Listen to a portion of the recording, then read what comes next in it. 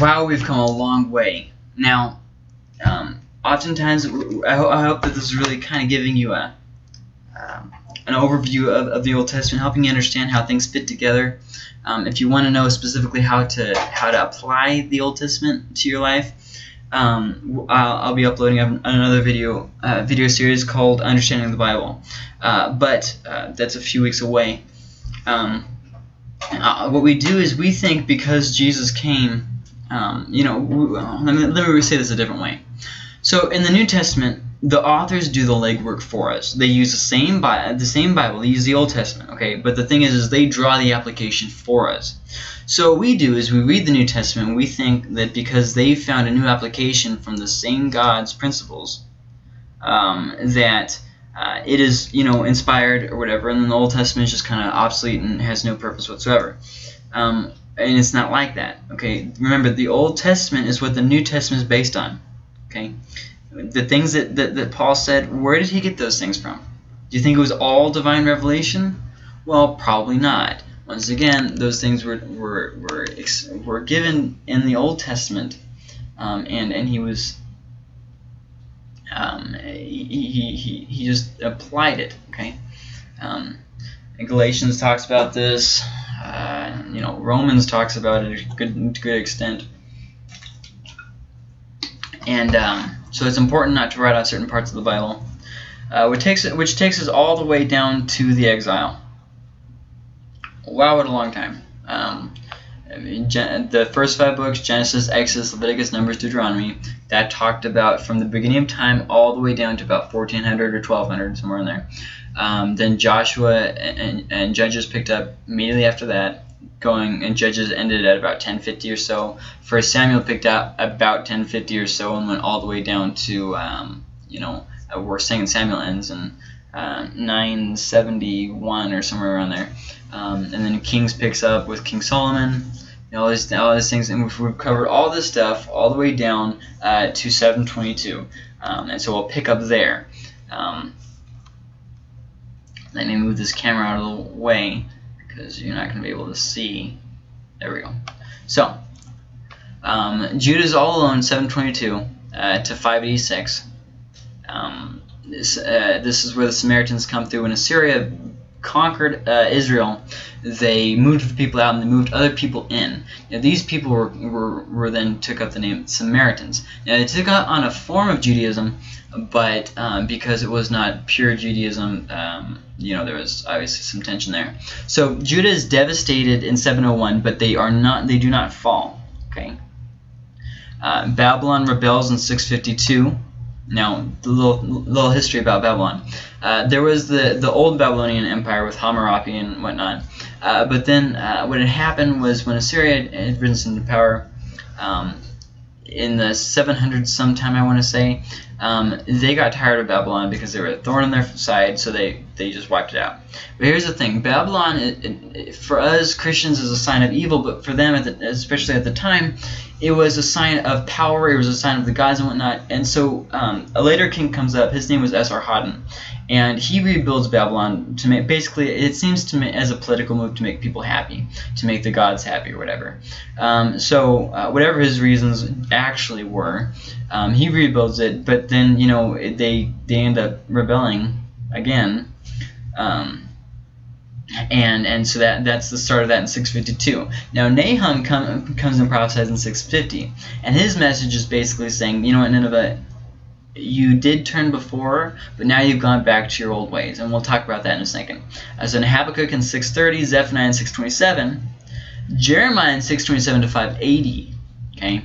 Um, and so he sees before the fall of, of Judah all the way to after the fall of Judah. So Babylon emerges as a power in 626 and then comes and, and, and, and defeats Assyria's capital of Nineveh in 612 and then uh, uh, does a few more skirmishes and beats them completely in 609. Judah is made a vassal state when Babylon then comes down and has a tour uh, down to, I think they go as far as Egypt, I don't remember, um, but makes Judah a vassal state. Uh, Daniel is taken in this um, in this attack uh, to Babylon. Uh, that's in 605 to about 530. It was when he prophesied. Judah is defeated in 597. Um, I know it says Lamentations there, but um, it, actually Lamentations was written um, in five, after 586 or in 586 when Judah is destroyed, uh, just a little bit down. Ezekiel is, however, taken in 593 about, and he prophesies to about 570. Uh, maybe he was taken in 597, um, but he prophesied about 593 to 570. Um, now Judah is destroyed. I mentioned that in 586, and this is where the books of Kings and Psalms find their origin. When the people from Judah are in exile uh, in Babylon. Um, so then Babylon falls in 539, and uh, Persia takes over. Now, if you look, Babylon really wasn't a power that long. Um, so I mentioned this before, but here's a map. Here's Babylon. Started gaining steam, came up here, took over Nineveh, and then swung down here and um, took over, made made, um, made uh, um, Judah a vassal state. Um, so uh, hopefully that gives you a little more historical context of what's going on. Now Hezekiah and Josiah are going to last two good kings. Now if you remember in a previous lesson, I think two lessons ago, I talked about Joash and I talked about how um, his, I think it was his grandma Athaliah was uh, really evil and tried to wipe out the family line so that she could rule. Um, I looked that up. That was Joash. Uh, but um, Josiah, however, um, is the one listed here. He reigns at um, he begins reigning at about eight years old or so, and I always confuse the two. Is where it all came from, um, but uh, Josiah uh, makes a lot of a lot of a lot of reforms. Now it's interesting that Joash and Josiah were both reformers. Um,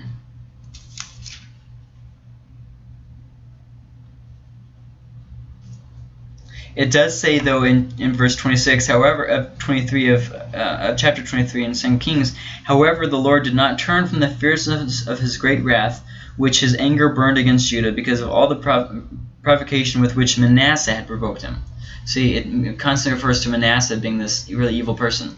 So Hezekiah is a is a is a overall good king. He does some dumb stuff towards the second half of his of his reign, but overall, um, he gives birth to Manasseh after he's healed from the illness. You know, maybe it would have been better for him to have died. Honestly, um, he messed up with Babylon. He messed up with um, uh, his son. You know, uh, just worth considering. Manasseh reigns from 698 to 643, so reigns you know a good sizable amount of time, longer than Hezekiah reigned. Um, and then Amon reigns from 642 to 640, obviously very short. Josiah is a reformer, and uh, he finds the book of the. I was actually just looking that up right now. Um, he finds the book uh, in chapter.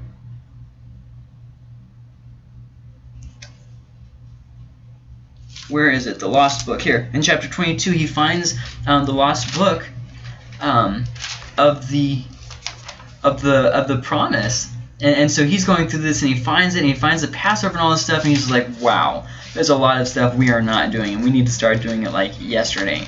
Um, and, and so, uh, you know, he starts reinstituting stuff and, and even does the does the Passover when it hadn't been done forever and still, uh, still, um, it, it doesn't, uh, um, it doesn't um, stop the wrath, wrath, of the Lord because you know obviously they've done a lot of really evil and wicked things, um, and so that takes us uh, to um, Jehoahaz, also called Shallum uh, by Jeremiah in 609, but he very short reign. Jehoiakim in 609 to 598, Jehoiachin in 598, and then Zedekiah from 597 to 586. Now, if I remember correctly, Zedekiah was actually put up by um, by the king by Nebuchadnezzar. So, um, now in Second Chronicles 23, it mentions uh, Joash, um, and it mentions Athaliah there. And it mentions when Jehoiada made a covenant between himself and all the people and the king that they would be the Lord's people. And all the people went to the house of Baal and tore it down, and they broke its in pieces his altars and his images, and killed Mattan the, uh, the priest of Baal before the altars. Moreover, Jehoiada placed the offices of, of the house of the Lord under the authority of the Levitical priest, whom David had assigned over the house of the Lord, to offer the burnt offerings of the Lord, as it is written in the law of Moses. Um, now it keeps on going, but um, it does mention though that um, Joash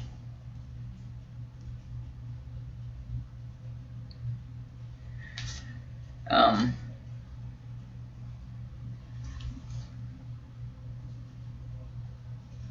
in, in, in, let's see, where is this?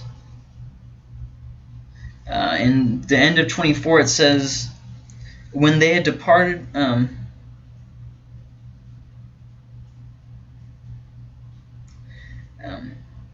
here in 23. Now it happened at the turn of the year that the army of the Arameans came up against him, and they came to Judah and Jerusalem, destroyed all the officials of the people from among the uh, people, and sent all their spoil to the king of Damascus. Indeed, the army of the Arameans uh, came with a small number of men, yet the Lord delivered a very great army into their hands, because they had forsaken the Lord, the God of their fathers. Thus they executed judgment on, jo on Joash. When they had departed from him, for they left him very sick, his own servants conspired against him because of the blood of the son of Jehoiada the priest, and murdered him on his bed. So he died, and they buried him in the city of David, but they did not bury him in the tombs of the kings. Now these are the, the those who conspired against him, Zabad and uh. Now I want to establish, because I did mess up on a previous lesson, I said that Joash tried to stop um, tried to stop the, the, the Pharaoh from going up, but that was actually Josiah. Um,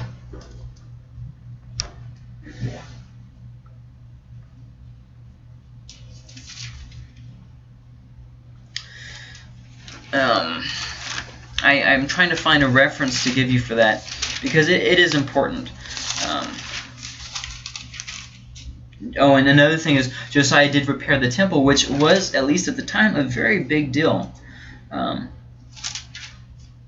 after it says in 2 Chronicles 35, after all this, when Josiah had set the temple in order, Necho, king of Egypt, came out to make war at Carchemish on the Euphrates, and Josiah went out to engage him.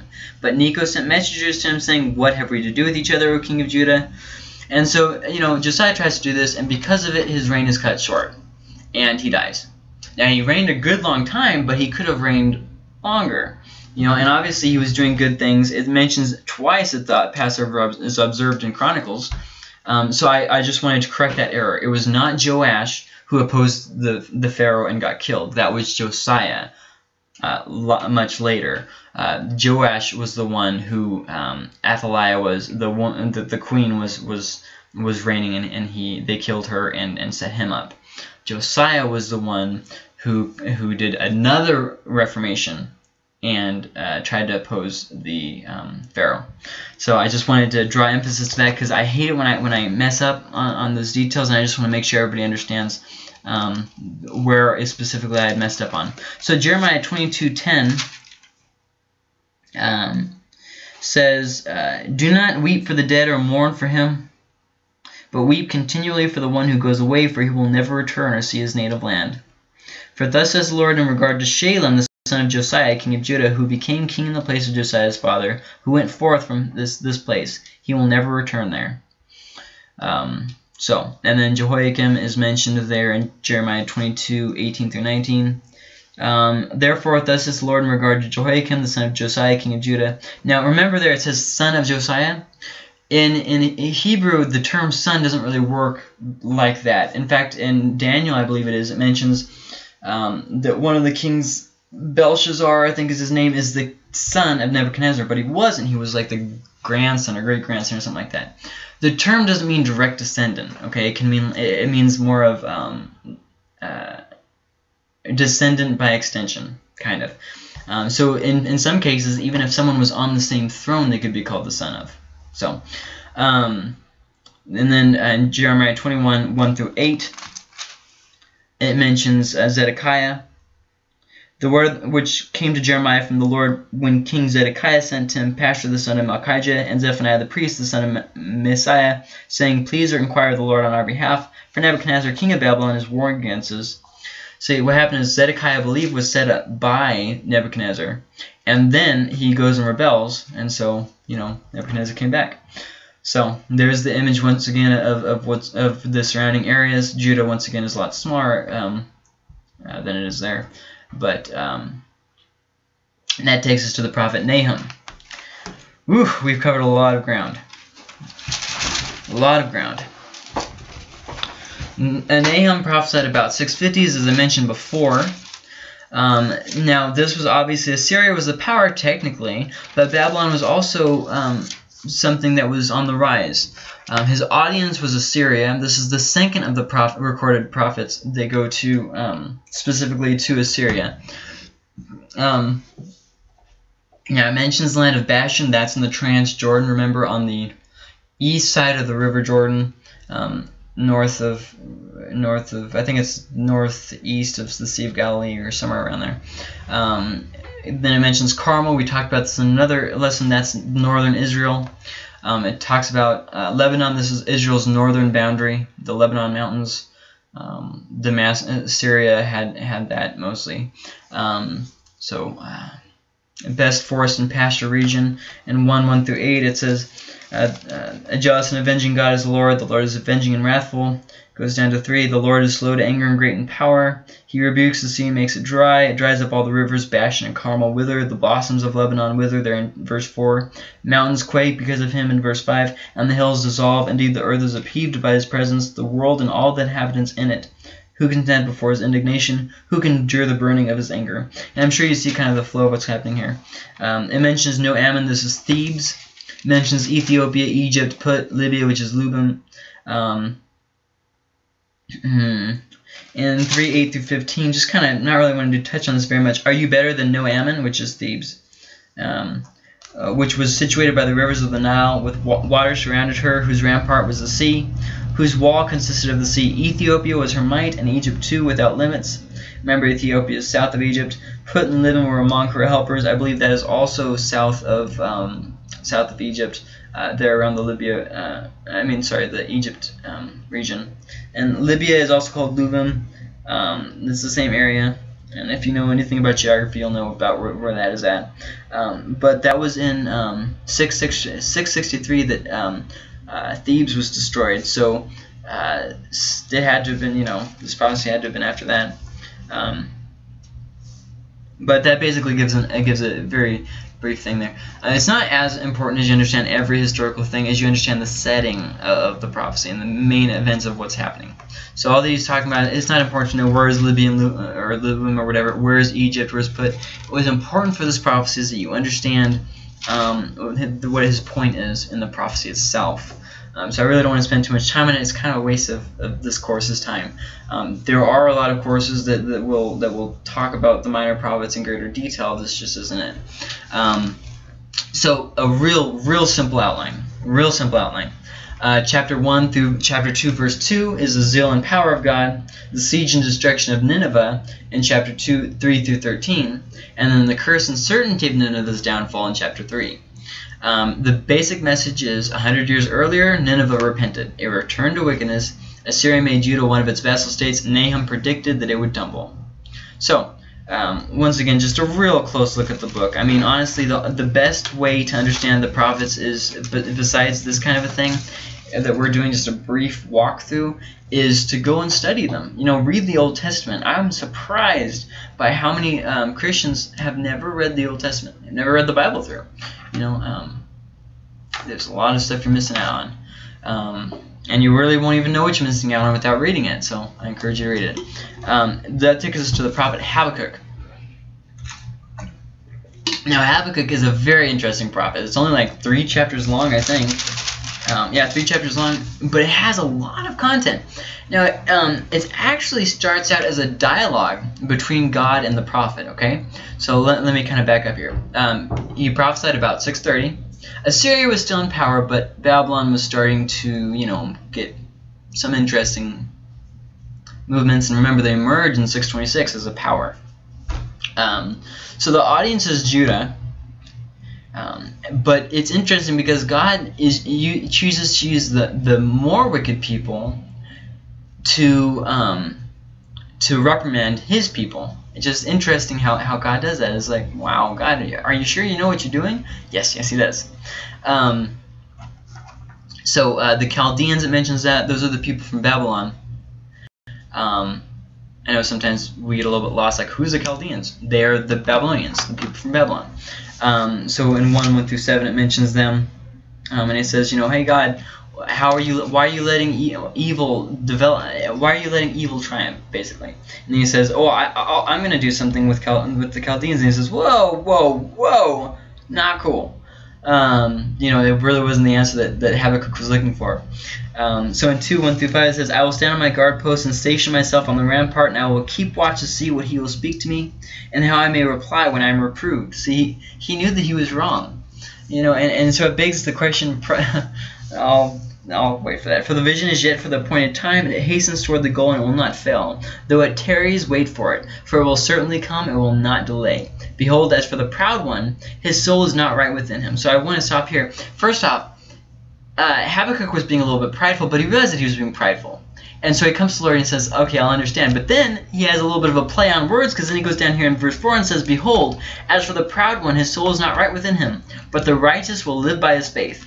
So it kind of sets up the sets up this contrast. Are you a prideful person or are you living by faith? You know, and the Bible says, I, am pretty sure it's that, that line that the Bible says continually, um, the righteous will live by faith. So, in chapter 3, verses 16 through 19, we see no matter what faith develop in Habakkuk. That he sees what's going on. He says, you know what, God, I, I don't, I, I, I'm just going to wait on you and see what you do. No matter what, he, he had this dependence on the Lord. Um, so the outline then is in chapter 1 through 2, a struggle with God's purposes. Have you ever struggled with God's purposes? Yeah, Habakkuk did too. Remember, prophets were not people who, oh, I have a word from the Lord. You know, they they were real people with real struggles. They didn't they didn't necessarily always like their message or always liked who they were going to. Uh, chapter three, he yields to God's purposes. So the main message is Habakkuk couldn't understand why God seemed to do nothing about the wickedness in society. He soon learned that God is still in control of the world despite the apparent triumph of evil. So that takes us to the prophet of Zephaniah. Whew, we're going through a lot of stuff really fast. I encourage you to pause, rewind, read through the books yourself. You'll learn a lot, I guarantee it. Um, and just study, study, study, study. Um, so, the date that, the, that Zephaniah prophesied was about 627. Assyria was still in control technically, but remember, this is right before Babylon comes to comes to as emerges of power. So uh, the audience is for Judah. Um, it is possible that Zephaniah is a descendant of King Hezekiah, but it's very unlikely. It mentions uh, son of Hezekiah um, in the days of Josiah, son of Amon, king of Judah, um, in, in the beginning of the prophecy, but eh, unlikely. Now it mentions in 1 7 through 13, it mentions these different places. Um, let's see, the Fish Gate, the Same Quarter, these are different districts of, of Jerusalem. Um, so there's that. Uh, the uh, basic outline for Zephaniah, once again, we're not really looking at content of this either. Judgment for Judah in 1 2, ver, through 2 3. Judgment for the nations in 2 4 through 15. Judgment for both in 3 1 through 8, kind of makes a nice little circle there. And then restoration for both in 3 9 through 20. So the message is a day will come when God, as judge, will severely punish all nations, but after judgment, he will show mercy to his faithful. Um, very, very good, very encouraging. Um, so that takes us to the prophet Jeremiah, and we'll just go through Jeremiah kind of quickly, and then we'll stop at, with him. So he prophesied, I mentioned this, from about 627 to about 580. Uh, this was during the time of Assyria, but he saw Babylon emerge as a power and take over, um, and then, you know, come and, and, and and uh, take uh, destroy Judah as well. Uh, his audience was to Judah. He lived in a place called Anathoth. Um, it was a Levite town there near Jerusalem. Um, you could walk out and see Jerusalem. Um, he was known, he was called the weeping prophet. He struggled greatly with his calling. Um, he was definitely not in it for the show of it. He definitely did not uh, get a good time from this. In chapter 20, um, 7 through 10, he says, "Okay, but if I if I uh, um, you have deceived me and I was deceived. You have overcome me and prevailed. I have become a laughingstock all day long. Everyone mocks me. For each time I speak, I cry aloud. I proclaim violence and destruction, because for the word of the Lord has resulted in reproach and derision all day long. But if I say I will not remember him or speak any more his name, then in my heart it becomes like a burning fire. He was unhappy when he spoke. He was unhappy when he didn't speak. We have this idea that if you're in God's will, you'll always be content. Nope. Definitely not. Sometimes you still will not be content. Um, so, he started young and never mentioned 1 1 through 10 and 16 1 through 5 mentioned that. He was told not to marry uh, as a sign uh, because, you know, the place would be taken over. Um, and it's, he started young. The word used there seems to imply that he was like maybe 17 or so. Um, it's a word that's that's mentioned for young people, but it, not definite. So just keep that in mind. Um, he did face much persecution. Uh, he was put in put in locks. He was put in a cistern. He was beaten. All kinds of different bad things happened to him, and I put down some references there. Uh, Baruch was a scribe. Now I mentioned this in the introduction. A lot of times prophets would have scribes that would write down their messages for them, distribute some of their messages for them, that kind of stuff. Uh, maybe even compiled some of their some of their writings together after uh, the prophet had died. He was taken to Egypt, as a reference there is 42, 18 through 40 through 7. Against his will, he told them not to go. They took him with them, um, and uh, um, it seems as though he died there. At least that's what tradition claims. So an outline, real basic. God calls Jeremiah in chapter 1. Jeremiah's evaluation in chapter 2 through 10. Judah didn't learn. he, he, constantly was proclaiming this message that no message that nobody was listening to. In 3:10 it says, "Yet in spite of all this, her treacherous sister Judah did not repent to me with all their all her heart, but rather in deception," declares the Lord. So it has this constant, you know, show. You know, okay, Israel fell and it was an example to you, but you didn't learn anything. So now it takes us to Judah, and you're now you're gonna fall. So. Um, Shiloh is a holy place that once again mentioned in, jo in Joshua 18.1. Read what, what happens there in 18.1. But then in Psalm 78, read what happens there. And then Jeremiah 7.12, read what happens there. You see the development of the deterioration of a holy place. Um, and, and that's actually a large theme in a lot of the writings at this time, is the, the places that were holy becoming desolate. Um, they the people did definitely trust their rituals. In 7:16 through 25, it talks about this. Um, they very much so depended on their rituals. As for you, do not pray for this people, and do not lift up cry or prayer for them, and do not intercede with me, for I do not hear you. Do you not see what they are doing in the cities of Judah and in the streets of Jerusalem? So once again, the holy place is being made uh, profane. Jeremiah wrestles with God and man in chapters 11 through 20. Uh, Jeremiah obviously becomes God's example. In fact, in one spot, he even buys a place um, before the um, before the people are, are come back to Jerusalem um, to show that they would come back. Um, ben Hinnom is mentioned. That's the valley south of Jerusalem. Um, it says that in 19:2. Then go out of the valley of uh, Ben Hinnom, which is by the entrance of the potsherd gate, and proclaim there the words that I tell you. Um, and then um, Magor Missabib uh, means terror on every side. It mentions that in 20 verse 3 uh, when he, um, Pashur persecutes Jeremiah. Um, and that means terror on every side. But I think, and I think it says it actually clarifies that for itself. Um, Jeremiah challenges the elite in chapters 21 through 29, so you can see how bad this is going for Jeremiah. Um, uh, the prophets uh, themselves opposed him. Um, you know, obviously not a good sign. Uh, Um, and, and, you know, he was talking to people who had hardened hearts that were not willing to listen no matter what he would say. Yet in chapter 30 through 33, we have what's called the Book of Comfort. You know, that God is, the God is um, not, not wanting destruction. It's interesting. God was still faithful throughout, throughout all of this. 31 31 says, um,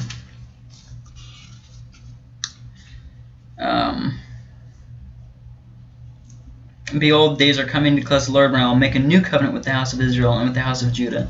Now, it's interesting to note that he's prophesying about these things, about them coming back before they'd ever even been taken. How cool is that? Um, that you know, hey, you're gonna you're gonna go, you're gonna go, but then he says, hey, after you, after you go, um, you're gonna come back, and this is for your good. Um, so we see that God was still faithful, um, even despite uh, Judah's much long time of being unfaithful. So we have a failure of Jerusalem's leadership in 20, 34 through 39. Um, and he uses the examples of the Rechabites who obeyed their earthly father there in chapter 35. Um, he uses them as an example. Why are you not obeying me, your heavenly father? So uh, Jerusalem after its fall in chapter 40 through 45. Oracles about the nations in 56 through 51. We mentioned this Egypt, they're uh, west of, of Israel, Philistia on the border there, Moab to the to the east um, came from Lot, Ammon from to the east, which came from Lot, Edom from Esau. Um, to the east, Damascus to the north, which is Syria. Uh, Chemosh, it mentions him. He was the chief god of Moab. Um, Kedar and Hazor are Arab tribes. I know it mentions them. Elam, we talked about this, was east of Babylon. Bel or Marduk was the chief god of Babylon. Um, Seraiah is commissioned. uh, I mean, it kind of kind of explains itself. I'm just giving you a real brief, um, real brief um, overview here. And I think it's Jeremiah who actually sends uh, his scribe uh, Baruch with a message to to Babylon. I believe that was him. Um, but Jeremiah, uh, Jerusalem's fall is revisited in chapter 51. Uh, because some of the wording is possible that Jeremiah had something to do with uh, the books of Kings. Um, possible. Uh, maybe not necessarily likely. But that takes us to the prophet of Daniel, a very complicated book that's going to uh, take us a long time to get into, so we're going to stop here. Hope you enjoyed this. Uh, we'll look at Daniel and uh, Lamentations, and uh, I believe Kings and Psalms are our next lesson as well. So uh, I'll see you next time.